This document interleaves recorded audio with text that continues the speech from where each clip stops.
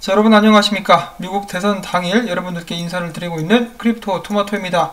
자, 오늘 미국 달러는 떨어지고 있고요. 그 반면에 미국 증시 같은 경우는 거하게 오르고 있습니다. 마치 이미 미국 대선 결과가 나온 듯한 그런 모습을 보여주고 있는 미국 증시. 그에 덩달아서 비트코인은 상승했어요.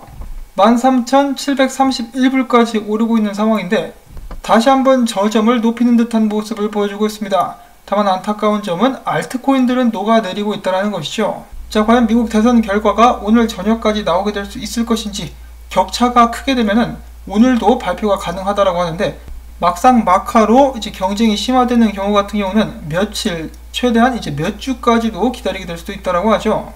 암호화폐 및 증시를 위해서는 깔끔한 결과가 나와주는 것이 이득이라고 볼 수가 있겠습니다. 자, 그와 동시에 오늘 테더가 1억 5천만 달러어치 신규로 발행이 됐다고 하는데요. 자, 이걸로 비트코인 펌핑 한번 주나요? 자, 그 다음에는 화제의 페이팔 관련된 소식이 있는데요. 페이팔 대표가 이번에 3분기 실적 발표에서 앞으로 페이팔은 중앙은행들이 발행하게 되는 디지털 화폐 지원은 물론이며 암호화폐 사업에 더욱더 적극적으로 진출할 계획이라고 밝혔습니다. 그리고 페이팔이 암호화폐 판매 서비스를 시작하고 나서 그들 스스로도 놀랐다라고 하는데요. 바로 암호화폐 결제 서비스 대기자 명단에 오른 사용자가 그들의 예상보다 2배에서 3배는 더 많다라고 이야기를 하는 것입니다. 그리고 또한 페이팔을 통해서 암호화폐를 구입한 사람들은 자신의 투자한 자산들이 어떻게 됐는지 하루의 지갑을 여러 번 살펴본다라고 하네요.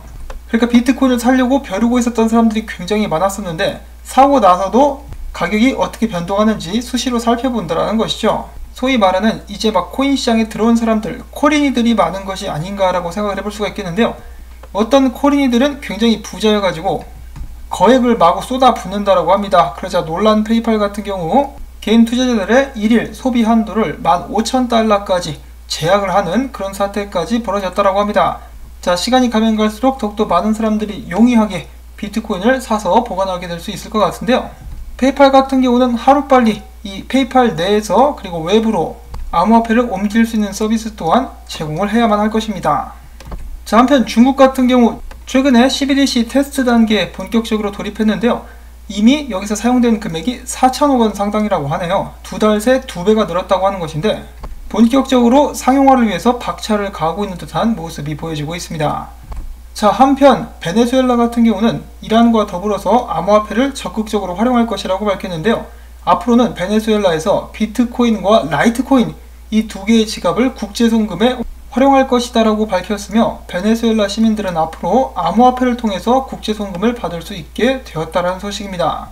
그리고 이미 정말 많은 베네수엘라 시민들은 비트코인을 국제 지불 및 가치 저장 수단으로 활용을 하고 있다라고 하네요. 베네수엘라 같은 경우는 금보다 비트코인이 낫죠. 왜냐하면 금 같은 경우는 뺏길 수가 있기 때문입니다. 자, 그 다음에는 바이낸스에서 BNB Vault라는 것을 출시했는데요. 이것이 무엇이냐? 이것은 일종의 자금 보증 종합 투자 서비스로서 BNB 보유자가 one click으로 BNB 내에서 Launchpool, DeFi staking 등의 다양한 서비스를 사용할 수 있도록 지원하는 것이라고 합니다. 자, 그 다음에는 두 개의 암호화폐 프로젝트의 파트너십 소식이 있습니다. 웨이브가 IOST와 파트너십을 맺고 웨이브에서 IOST 기술을 활용해서 다른 블록체인들과 연결하는 cross-chain 프로젝트를 진행하겠다. 그 프로젝트 이름은 그래비티다라고 이야기를 해주고 있습니다. 자, 그 다음엔 체인링크 관련된 소식. 폴카닷 기반의 탈중앙화 거래소 젠링크가 체인링크의 가격 지표를 활용하기로 결정했다라는 소식이 또 나오게 되었고요. 그 다음에는 알트코인들의 운명을 결정하는 비트코인 dominance 주봉 차트입니다. 알트코인 성적이 좋지 않자 옆집 개가 화가 나서 막 짖고 있는 그런 상황이라고 볼 수가 있겠는데요. 이 비트코인 도미넌스 같은 경우 굉장히 강력한 저항선에 맞닿아 있는 상황입니다. 만약에 이 저항선을 뚫고 올라가 버린다? 그러면은 알트코인들 더욱더 강하게 하락할 수 있겠고요. 여기에 맞고 이 전처럼 하락을 하게 된다. 그러면은 알트코인들의 반등이 오게 될 수도 있겠죠. 최근 며칠 동안 비트코인만 모든 것을 독식하는 그런 모습이 보여졌었는데 과연 알트코인들의 운명은 어떻게 될까요? 가장 이상적인 방법이 될 수 있는 것은 패턴이 될 수 있는 것은 여기서 맞고 내려와 가지고 head and shoulder 그리면서 쭉 떨어져 주는 그런 이쁜 그림이 나오면은 알트코인들도 다시 한번 날개를 펴고 날아갈 수가 있을 것입니다. 자, 그 다음에 본격적으로 비트코인 관련된 정보들을 한번 보도록 하겠는데요. 자, 전문가가 이야기합니다. 트럼프든 바이든이든 누가 이기든지 비트코인은 오른다. 그건 나도 알아, 이 양반아. 나 전문가 아닌데. 근데 여기서 문제는 전문가가 아닌 저도 예상을 할 수 있는 그런 방향이기 때문에 과연 모든 사람들이 예상을 한 대로 비트코인이 움직여 줄까 하는 것입니다. 딱 봤을 때는 당연히 올라갈 것 같죠. 근데 과연 우리의 바람대로 움직여 줄 것인가? 미국 증시랑 비트 조만간에 높게 올라갈 것이라고 많은 사람들이 예측을 하고 있는데요. 과연 순순히 개미들을 돈 벌 수 있도록 도와줄 것인지는 한번 지켜봐야 된다라고 방심해서는 안 된다라고 저는 생각을 하고 있습니다. 자 그런데 그레이스케일 같은 경우는 무조건 떡상 간다라고 확신을 하고 있는 것 같죠. 이제 전날 대비 비트코인 보유량이 1938개 증가했습니다. 자, 그 다음에는 또 한 가지 희소식이 나왔는데요. 그 전에는 비트코인을 깔봤었던 사람이 이번엔 비트코인에 대한 의견을 바꿨다라는 것입니다. 한때 비트코인은 구라, 거짓말이라고 생각한다라고 이야기를 했었던 월가의 채권왕, 굉장히 유명한 사람이죠. 더블라인 캐피탈의 제프리 군드라흐라고 되어 있는데 외국인들은 그냥 제프리 건락이라고 부르더라고요. 자, 아무튼 이 군드라흐 씨 같은 경우는 비트코인과 금은 통화 인플레이션으로부터 보호해줄 수 있는 해지 수단이다라고 하면서 비트코인과 금은 많은 공통점을 보유하고 있다. 일반적으로 이들은 안전자산이라고 인식되고 있다라는 설명을 남겼습니다. 자, 과연 이 억만장자 군드 라흐 씨가 비트코인에 대한 의견을 바꾸게 된 계기는 무엇일까요? 금과 벌써부터 어깨를 나란히 하고 있는 비트코인의 모습을 다시 한번 살펴볼 수가 있었습니다. 자, 그 다음에는 코인 매트릭스에서 새로운 보고서를 냈는데요. 그들이 조사한 바에 의하면 최근 들어서 비트코인 채굴자들이 비트코인 유통 시장에 미치는 영향력이 점차 줄어들고 있는 것 같다라고 의견을 제시를 했는데요. 어째서 그렇게 생각하는지는 이 기사에 나와 있지만은 좀 길고 복잡해가지고 제가 굳이 읽지는 않도록 하겠습니다. 관심 있으신 분들께서는 이 영상을 정지시키고 읽어보시면 될 것 같은데요. 이러한 가설을 좀 더 나아가서 생각을 해보자면은 비트코인 반감기가 있었죠. 반감기가 있어서 채굴자들이 채굴하는 비트코인의 숫자는 반으로 줄어들었는데 반면에 비트코인 수요는 오히려 두 배가량 혹은 그 이상으로 늘어났다고 볼 수가 있겠습니다. 그렇기 때문에 시간이 가면 갈수록 이 비트코인 수요가 늘어나면 늘어날수록 채굴자들이 비트코인 유통시장에서 끼칠 수 있는 영향력은 계속해서 줄어들게 되지 않을까라고 생각을 해봅니다. 이 채굴자들 같은 경우도 비트코인 가격이 그 전에는 해시레이트가 떨어지면 뚝뚝 떨어졌는데 이번에는 오히려 올라가고 있기 때문에 비트코인의 가격 상승을 예상하고 더 이상 팔지 않으려는 그런 움직임이 나올 수도 있겠다라고 희망적으로 저는 한번 생각도 해보고 있습니다. 자, 그 다음에 암호화폐 전문 분석업체 메사리가 이야기합니다. 비트코인 선물 시장의 미결제 약정 규모가 다시 한번 역대 최고치를 기록을 했다. 자, 이런 상황에서 롱 포지션이 미결제 약정 증가세를 좀 뒷받침만 해준다? 그러면은 가격 상승 가지야라고 볼 수 있다라는 평가를 남겼다라고 합니다. 자, 과연 전반적인 분위기가 상승으로 기울 것인지 하락으로 기울 것인지 미국 대선 결과가 하루빨리 나올 수 있기를 바라봅니다. 자, 그 다음에 어제 제가 영상에서 비트코인 조정이 나오게 될 수 있다라는 사람들의 의견을 전했었는데요. 다시 한번 조정이 나오게 될 수 있다라는 의견에 힘을 주는 그런 분석이 있었다라고 합니다. 비트코인이 30% 지금부터 하락한다 할지라도 놀랄 필요는 없다라는 기사인데요. 이는 바로 유명 암호화폐 분석가인 조시 레저의 트윗을 기반으로 쓰여진 기사라고 볼 수가 있겠는데요. 조시 레저는 그의 트윗을 통해서 다가오는 한 주에 그동안에 비트코인이 엄청나게 상승했기 때문에 30% 가격이 하락할 수 있는 가능성이 있다라고 이야기를 했다라고 합니다. 그 외 다른 사람들도 비트코인이 14,000달러를 아직 뚫지 못하고 있기 때문에 여기서 수익 실현을 하게 된다면 비트코인의 하방 압력이 가중될 수 있다라는 의견을 남기기도 했었는데요.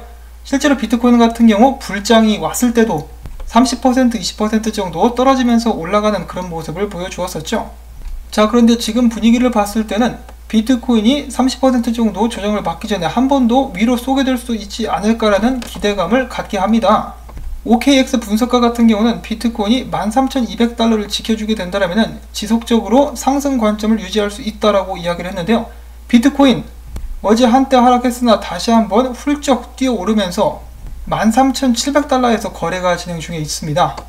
이 정도의 기세라면은 14,000달러도 어렵지 않게 뚫고 올라가게 될 수 있지 않을까라고 생각을 해볼 수가 있겠는데요. 이번 주 비트코인 주봉을 보시면은 이런 모습이라고 볼 수가 있겠는데 Rekt Capital이라는 분석가는 자 비트코인이 아직도 13,900달러 아래서 놀고 있으나 이번 주 아직 초이기 때문에 어떻게 될지 한번 봐야겠다라고 이야기를 하면서 이번 주 떨어질 때마다 바닥에서 줍줍하면서 나는 재미를 보고 있다 라는 트윗을 남기기도 했었습니다. 그만큼 최근에 비트코인이 하락할 때마다 사람들이 사서 올려주는 강력한 매수세를 볼 수 있었다라고 생각을 해보시면 되겠죠.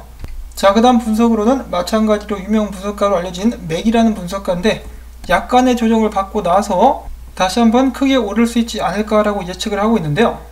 지금 굉장히 많은 사람들이 11,000불 때까지 혹은 12,000불 때까지 비트코인이 떨어지기를 기다리고 있기 때문에 지금 당장 떨어뜨리지 않고 오히려 올릴 수 있지 않을까라는 생각도 들기는 합니다. 왜 이전에도 9,600불 때 CME 갭이 있었을 때 많은 사람들이 거기서 매수해야지 라고 기다리고 있으니까 거기까지 안 내려보내고 쭉 올려버렸죠. 자, 과연 이번에는 어떻게 될 것인지 이렇다 저렇다라고 말을 하기가 굉장히 힘든 그런 상황이기 때문에 각별히 주의하시면서 투자를 하셔야 될 것 같은데 이럴 때 가장 좋은 방법은 정기적인 매수라든지 분할 매수라고 볼 수가 있겠죠. 정기적으로 매수를 하게 된다면 어느 방향으로 가든지 크게 손해는 안 봅니다. 그리고 장기적으로는 항상 수익이었었고요. 자, 물론 당연히 투자 조언은 아닙니다. 자, 그 다음에 지금 현재 암호화폐 시장의 심리 상태 같은 경우는 비트코인이 선전하고 있음에도 불구하고 사람들이 조심스러워하는 듯한 모습이 보여지고 있습니다. 어제와 같은 71, 약간의 탐욕 단계라고 볼 수가 있겠죠. 자, 그 다음에 마지막으로는 모든 암호화폐 투자자들이 기대를 한껏 부풀릴 수 있는 저번 미국 대선부터 지금 현재까지 4년이 지난 후 몇몇 암호화폐들의 성적을 크립토랜드가 한번 나열해 본 것인데요. 비트코인 보시면은 지난 대선부터 지금까지 1800% 가격 상승했습니다. 이더리움 같은 경우 3390%, XRP는 2723%, 그리고 라이트코인은 1276%, 모네로는 1780%. 엄청난 상승률이죠. 2016년도 때부터 투자를 하신 분들께서는 지금쯤 대박 났다라고 말씀을 하고 계실지도 모르겠습니다.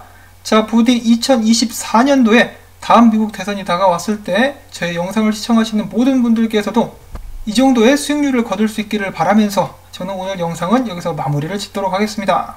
오늘 영상에서 나온 소식 및 통계들 여러분들께 도움이 되셨다면 언제나 그렇듯이 제가 계속해서 채널을 유지하기 위해서는 여러분들의 도움이 필요하죠.